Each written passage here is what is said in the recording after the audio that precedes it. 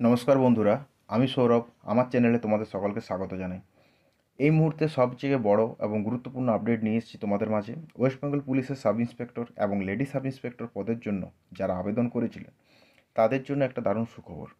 WPSI এর PET এবং PMT date যেটা ইতিমধ্যে তোমরা বিভিন্ন সোশ্যাল মিডিয়া গ্রুপে তোমরা বিভিন্ন সাইট থেকে পেয়ে গেছো হয়তো, তো সেটা হান্ড্রেড পার্সেন্ট অথেন্টিক নিউজ তো যারা এখনও জানো না, তাদের জন্য, তাদের জানানোর জন্য বলে দিই যে এপ্রিল মাসের আঠাশ তারিখ থেকে স্টার্ট হতে চলেছে ডব্লিউপিএসআই এর পিইটি অ্যান্ড পিএমটি চলবে তিরিশ তারিখ পর্যন্ত। যেহেতু এটা অফিসিয়ালভাবে এখনও পাবলিশ হয়নি, তাই আমি নোটিশটা এখন ওখানে দেখাতে পারছি না, তার জন্য আমি দুঃখিত।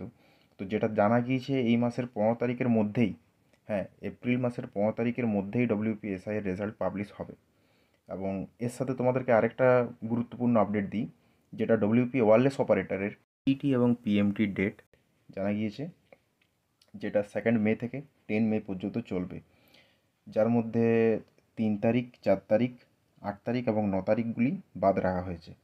এবং ডব্লিউপি ওয়ারলেস অপারেটরের রেজাল্টের এই মাসের থার্ড উইকের মাথায় অর্থাৎ চব্বিশ তারিখের মধ্যেই পাবলিশ হয়ে যাওয়ার সম্ভাবনা রয়েছে।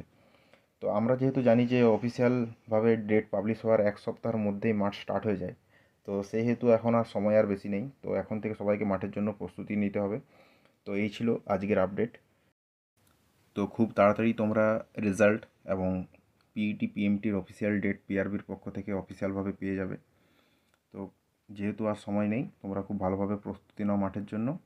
দেখা হচ্ছে নেক্সট ভিডিওতে যদি আমার রিপোর্ট ভালো লাগে চ্যানেলটি সাবস্ক্রাইব করে পাশে থাকবে। রেগুলার এই রিলেটেড ভিডিও পাওয়ার জন্য থ্যাংক ইউ ফর ওয়াচিং